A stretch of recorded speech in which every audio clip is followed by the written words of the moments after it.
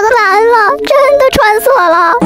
上次调姐收拾完桌面以后，看到了好多宝贝的留言，都说无竹的笔书法会穿色的。于是我赶紧把它们从笔筒里拿出来，横躺着平放在收纳盒里，然后把每一只都测试了一下颜色，结果就是它真的穿色了。嗯，有两个颜色已经串到分不出深浅了，紫色的更离谱，颜色直接掉了个个。